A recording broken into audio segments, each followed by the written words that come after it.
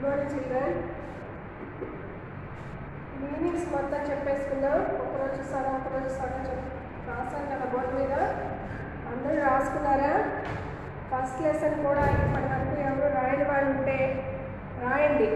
రాసిన తర్వాత second lesson రాయండి. సెకండ్ లెసన్ హెడ్డింగ్ పెట్టి లైన్ యూజ్ చేస్తూ మీనింగ్స్ రాయండి. ఈ మొత్తం మీనింగ్స్ అయిపోయిన తర్వాత టెక్స్ట్ బుక్లో ఉన్నాయి.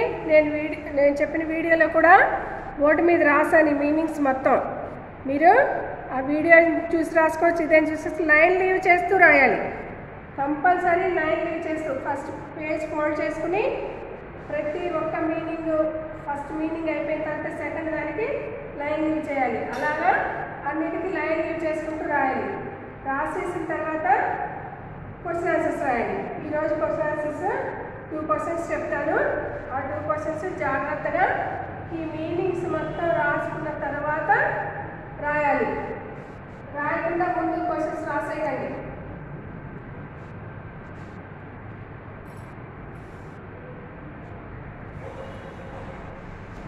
ఫస్ట్ క్వశ్చన్ అయితే మీకు టెక్స్ట్ బుక్లో అన్ని క్వశ్చన్స్ ఇవ్వలేదు.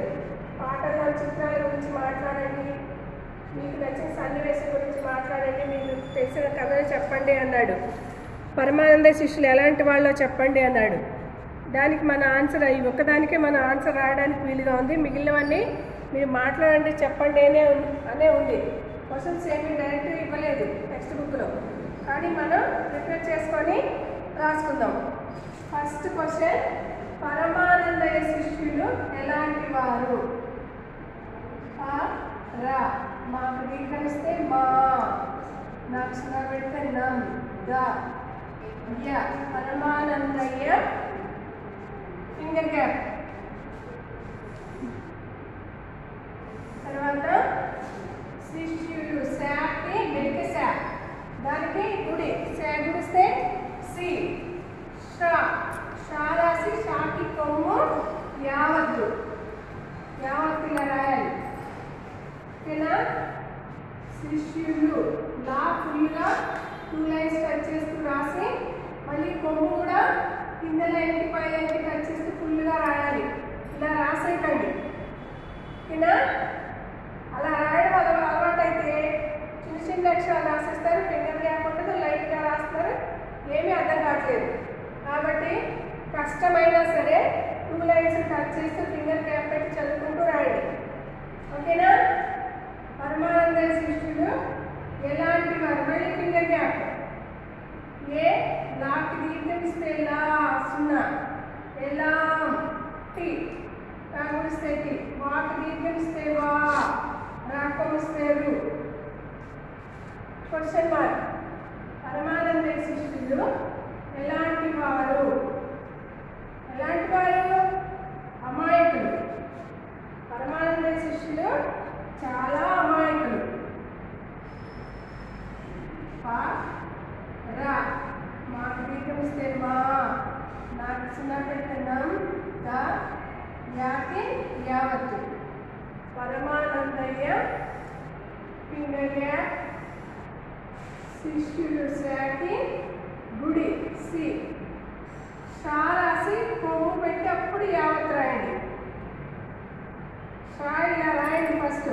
రాయకుండా ఏదో ఏదో ఇలా రాసేసుకుని ఎక్కడో అక్కడ ఆ, ఎక్కడ పెట్టాలని తడుపుడు ఎక్కడో అక్కడ వస్తు పెట్టడం కాదు. షా రాయండి ఇలా ఫస్ట్ తర్వాత దానికి కొమ్ము పెట్టండి అప్పుడు మీకు కన్ఫ్యూజన్ లేకుండా ఉంటుంది అనుమానంద శిష్యుడు ఇంకా చాకు దీర్ఘమిస్తే చా లాకు దీర్ఘమిస్తే లా చాలా మళ్ళీ ఫింగర్ గ్యాప్ ఆ మాకు దీర్ఘమిస్తే మా యా కు కాకొమిస్తేకు కాకొమిస్తేలు అమాయకులు. వాళ్ళు చాలా అమాయకులు అనమాట వాళ్ళకి ఏం చేయాలి? ఎలా మాట్లాడాలి? అవన్నీ ఏమీ తెలీదు.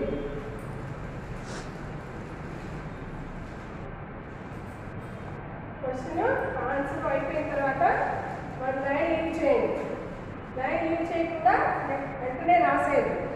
ఆన్సర్ కంప్లీట్గా అయిపోయిన తర్వాత ఇక్కడ సరిపోకపోతే ఈ అమాయకులు అనేది చివర. యూజ్ చేసి సెకండ్ పర్సన్ స్టార్ట్ చేయండి. పరమానందయ్య శిష్యుడు బాగా మాకు దిగ్గమిస్తేమా నాకు సున్నా పెడితేనాం దా యాకి దిగ్గమిస్తేయ పరమానందయ్య ఫింగర్ గ్యాప్ గుడిస్తే సి షా రాసి కొమ్ము రాసి యావత్తు శిష్యులు చదువుకుంటూ రాయండి పరమానంద శిష్యులు చేసే పనులు ఫింగర్ గ్యాప్ పెట్టి చాకి ఏతం పళ్ళు సాకి ఏతం పళ్ళు చేసే పనులు పనులు స్పెల్లింగ్ ఫింగర్ గ్యాప్ పర్ నా కొమ్మిస్తేలు నా కొమ్మిస్తేలు పనులు ఎలా ఉంటాయి ఫింగర్ ఏ ఫస్ట్ ఏ నాకు దీర్ఘమిస్తేలా ఎలా ఫింగర్ గ్యాప్ మూకి చిన్న పెడితే నాకు దీర్ఘమిస్తే కా యాగిస్తే పరమానందయ్య శిష్యులు చేసే పనులు ఎలా ఉంటాయి ఆన్సర్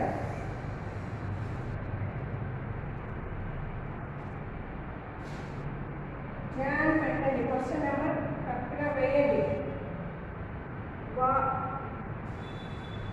పరమానందయ్య శిష్యులు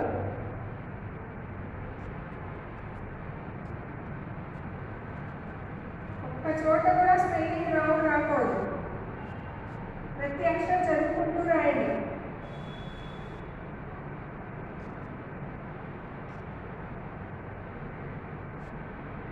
కోపంతో పాటుగా పరమానంద శిష్యులు చేసే పనులు.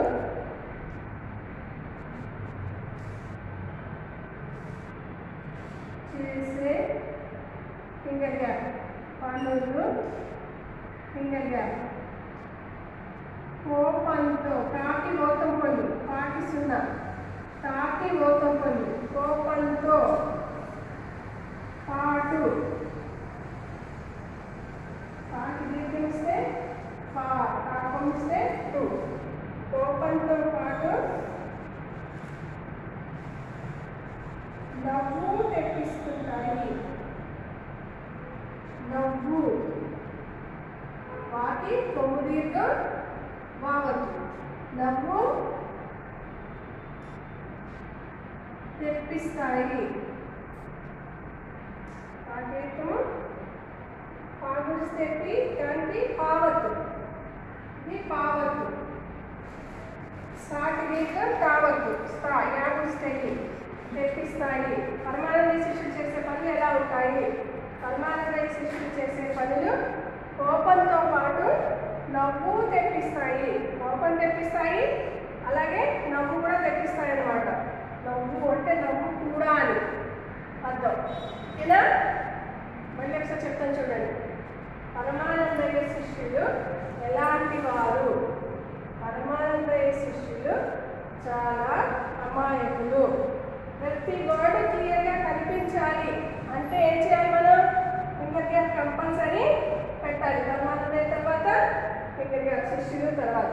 ఇక్కడ పరమానందయ్య తర్వాత శిష్యులు తర్వాత చాలా తర్వాత. ఇలా ప్రతి వర్డ్ తర్వాత ఫింగర్ గ్యాప్ పెట్టుకుంటూ రాస్తే మనకి క్లియర్గా చదువుకోవడానికి వీలుగా ఉంటుంది.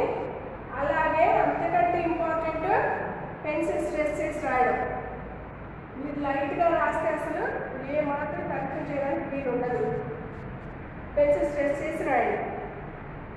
పరమానందయ్య ఫింగర్ గ్యాప్ శిష్యులు ఫింగర్ గ్యాప్ చేసే గ్యాప్ ఇక్కడ పనుల తర్వాత గ్యాప్ ఎలా తర్వాత గ్యాప్? తర్వాత ఇక్కడ కూడా ఇక్కడ ఇక్కడ ఇక్కడ ఇక్కడ. ఇక్కడ వరకు గ్యాప్ పెట్టుకుంటూ రాయాలి. ఓకేనా? చదువుకుంటూ రాస్తాను నీట్గా. మీనింగ్స్ కూడా రాయని వాళ్ళు రాయండి. రాసిన తర్వాత ఇవి రాయండి. చాలా నీట్గా నోట్స్లో రాసినట్టుగా ఉండాలి. మీరు నోట్స్ రాస్తే ఎంత నీట్గా ఎలా రా రాస్తారో అలా రాయాలి. మీ దగ్గర ఉండాలి మొత్తం నేను చెప్పినంత వరకు. ఓకేనా? బాయ్.